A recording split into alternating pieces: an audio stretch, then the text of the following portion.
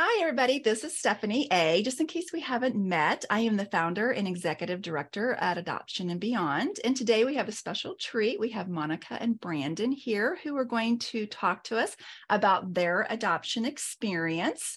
So um, I just want to welcome you both today. And I'm just going to dive right into our questions if that's good with you guys. Great. Sure. So tell us what brought you to adoption to begin with? I have PCOS, um, and I knew that kind of younger on.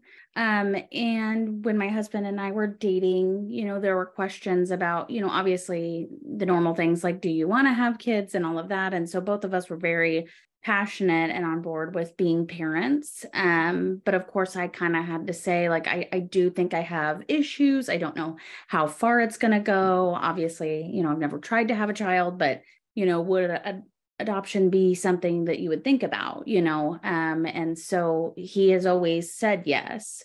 Mm-hmm. um, fast forward we got married um, we start trying to have children and um, we we do seek out fertility and we successfully got to try um, a cycle and then my appendix exploded and um, i was very sick um, and i thought i was pregnant instead. And so me realizing that i would sacrifice my body for a child. You know obviously i wanted to be a parent very bad but if i'm not going to be there for that child maybe that wasn't the right way to go about that at the time. And so that was kind of my nudge. And my husband was just like you know we really need to look into adoption you know? And so he kind of was the driver for that. And we kind of were searching for local places. We hadn't been married quite two years so there were some mm-hmm. cutoffs um, and hard stops um, that were kind of hard and challenging for us with certain ones. And so um, we found adoption beyond, and um, we set up um, like a interview and to, to learn about it and, you know, and it kind of sat on ourselves but we we talked about it you know a long time ago too. So that is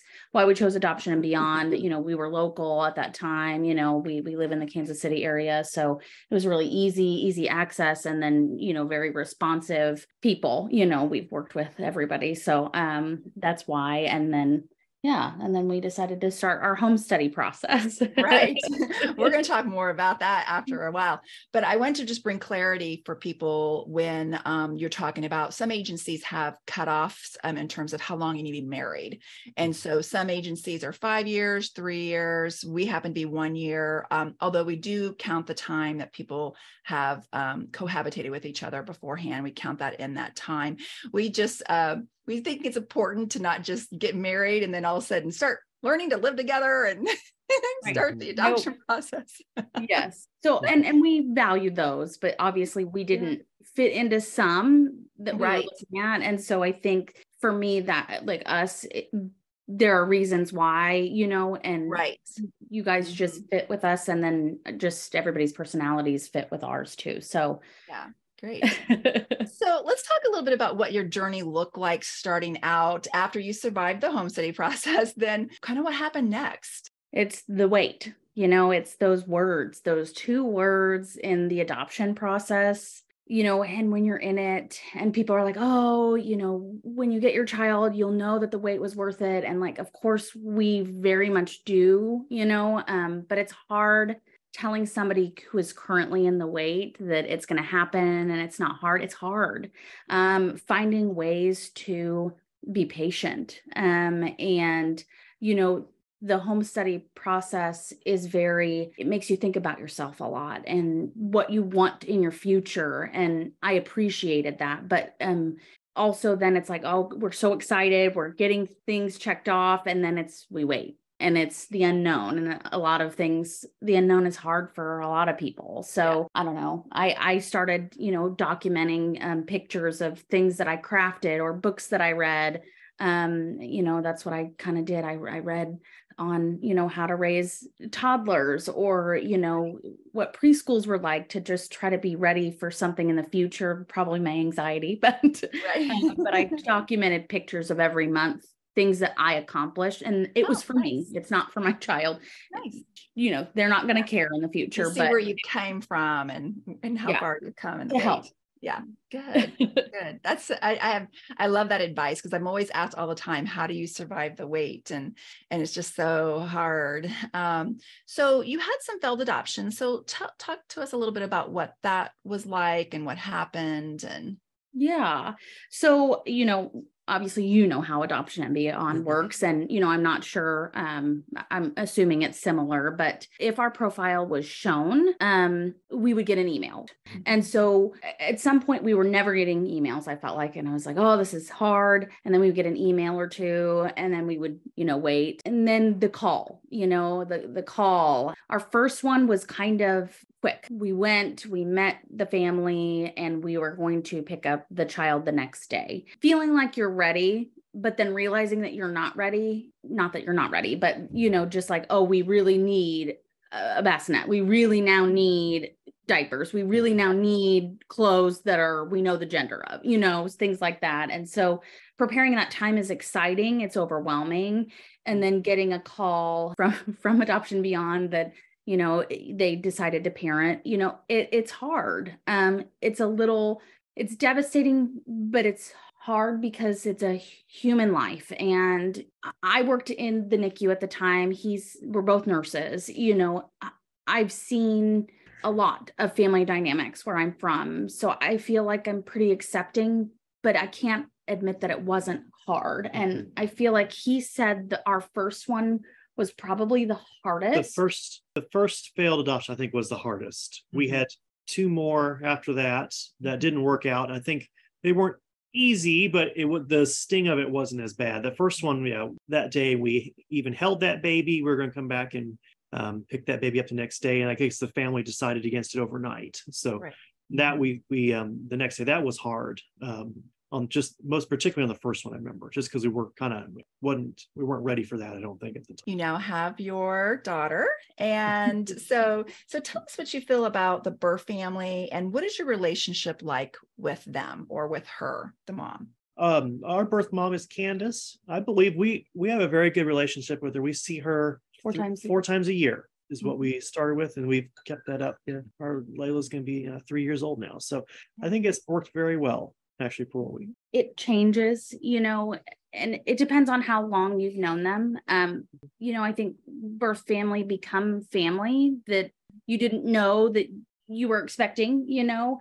We value her. Mm-hmm. You know, he always says that we are so lucky. Um, you know, he's like, we could have work, you know, which I'm like, she's wonderful. It's hard to, you know, imagine life without her. It's you know, because mm-hmm. obviously we would not have Layla without her. You know, originally it was going to be a closed adoption. And I am so glad that, you know, obviously we would go with whatever, you know, Candace chose, but we're happy that we get to mm-hmm. see her and we get to be a part of her life and get to hear updates and we're very big cheerleaders of her and we love her unconditionally just like we love our daughter unconditionally. And yeah she she comes to our house you know because yeah. people ask a lot of adoptive parents or do you feel comfortable with them coming to your house? And of course you know that's fine. And obviously we only met her at the beginning but we've met some of her family members. And and she's actually she came to Layla's Layla's birthday party here. birthday party with our family. And so mm-hmm. at the end of the day it's for Layla. That's the driver for it. But she mm-hmm. makes it easy. She makes it completely easy. She's nice. wonderful. Yeah yeah that one was another last minute kind of adoption too. Yeah. Was yeah. And so we were supposed to meet her the day that she went into labor. Mm-hmm. So, yeah. and it was COVID, the very beginning of it. Yes. So exactly. it was, it was, yes, the very beginning.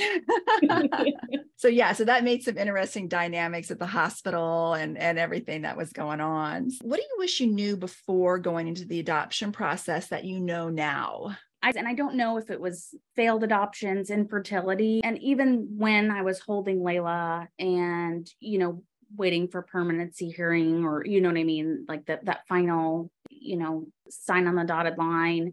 But I, I was angry a little bit when I saw my friends have babies. And my thought came to mind was, well, at least they don't have to worry about their child's getting, you know, taken away and feeling that that that is normal. It's a mm-hmm. normal feeling and not feeling bad for feeling some of those feelings because it's not affecting anybody. You know, I didn't go and blatantly say, oh, your child's cute and you know good luck you know you don't have to worry about them being taken away but like just feeling what you feel and.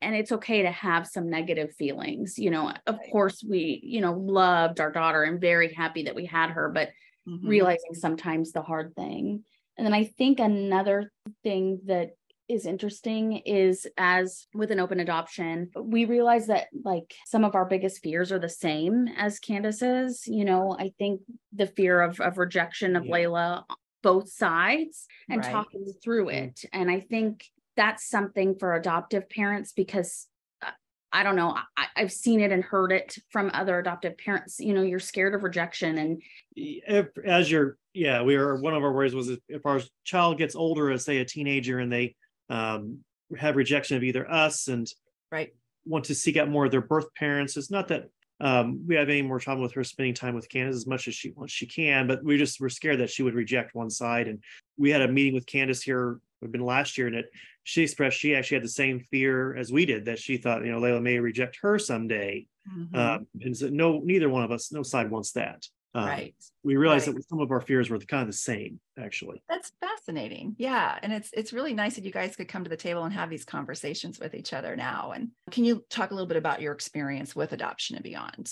Yeah, I mean, I think every you guys are on our you know our side, you know, but it's also important in an agency for me to to care about the birth families especially the mothers. Um, it's a hard time in somebody's life. It's traumatic. And if you're only going to care about us you know that's it's hard for me. You know that that would be hard for me. And so i for sure wanted to know that there would be some you know good resources for them and you know they don't have to take it you know but they're allowed and just that was important to me. Um you guys are a, a, smaller agency and i don't mean that you know in a rude way but like mm-hmm. you know it, it feels personal. Yeah i mean the, our class that we went to in person you guys know like I feel like you know everybody and your your wall. I bet you you can name every kid on there because you remember them. And yeah. so that was the piece for me is that it these kids are wonderful um, and it's important to have an agency you know that you know we can go back on layla only has a onesie size so i'm ready for some t-shirts and sizes for her adoption and beyond merch but you know we can talk about that later but oh, thank you for the idea i love that yes yes but you know and then you know you really care about connecting afterwards too mm-hmm. and you know uh, us coming back and saying how can we help you know either adoptive families or you know you know how can we help um, people going through it because it's hard but it's you know everybody's journey is different.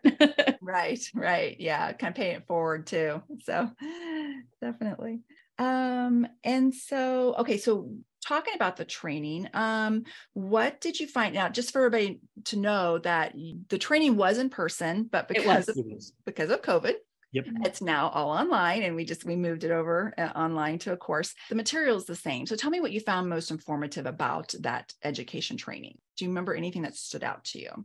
I mean, I liked meeting people that mm-hmm. you knew. I mean, and in communities that we know, you know, um, from from towns we we know where they are, you know, and you know, striving and and thinking, okay, yes, that is something I want to do. Yeah, we had a.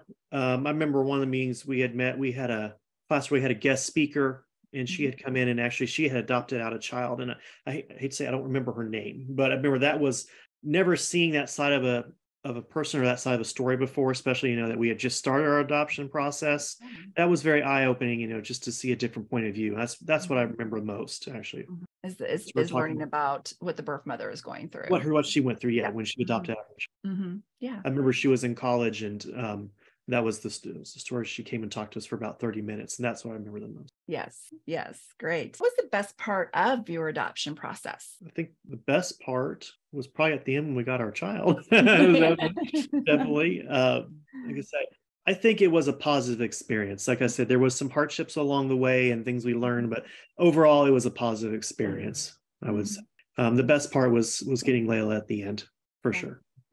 I don't know i feel like I think even now is some of the best parts too, That's you know, um, knowing that there is struggle and pain and, you know, trauma for both sides and finally getting on the other side Mhm. for us, you know, um, is, is wonderful. And living what we saw our future to be feels good, you know, not that everybody gets you know all of these fairy tale things but it's i feel like i'm in a fairy tale a lot you know but i know layla you know is our daughter and just the affirmations and her words and she gets older you know obviously i don't have a teenager yet but she does say go mom go away mommy leave me alone and i can hear it at 15 but like i just you know all of that's amazing too so i don't know it's it's all a good part. Nice. Great. I love it. Um, so you survived the adoptive home study process. You touched on that briefly. Um, what did you want to share with others to help calm their nerves about the home study process? we had saws in our um, basement because we were finishing it because we were very nervous so when the social worker at the time um, came over we were like um so we would never let a child play with the saw ever or the nails that you see or the you know um so there's that um you know you don't have to it does not have to be perfect. It can be if that makes you feel better. Um that i mean especially like somebody coming into your home um but yeah and then she led us through. I mean, I, I feel like we didn't really know what we were doing, and yeah um, she led us through the process, and, and so that was it was it was much easier than what I thought it was going to be really at the end of it. But Great. We're not looking for reasons not to approve you. We're here to help you get to these hoops. exactly. So, what are some words of advice and encouragement do you have for hopeful adoptive families starting or in the waiting adoption journey? I would I would tell them if that's what they truly want to go for it. Obviously, there's lots of research to be had, and I, I still think it's better to use an agency than I know you can adopt a child on your own, and they said how difficult that would be, all the legal processes and stuff. But I think the first step would be to talk to an agency and then go for it. If that's what you really want, Mhm. and Right. say, you know, Mayor, um, it just it worked out so well for us. It's we can't imagine our lives. I can't imagine anything without without Layla in it. You know, Mhm. and so Yeah. that would be the best thing I would tell them to go for it. And is there anything else you'd like to say to end us out? Mm, thank you to adoption beyond we Oh. we wouldn't have have our lives the way that we have it now without you guys so we Mhm. appreciate everything you've done and continue to do for the adoption community um, both adoptive parents um, and uh, birth families so we appreciate it You're welcome. We love everybody we work with, and we just we love it too. So, well, thank you. Those are such kind words to say. so, well, I just want to uh, thank uh, thank you again for being interviewed, and I appreciate it so much. And I just think this is just so helpful for families to hear families who are on the other side of the journey, and and that there there is an end. It's not if, it's when, and it's there for you. Yeah, like you said, you want to go for it, go for it.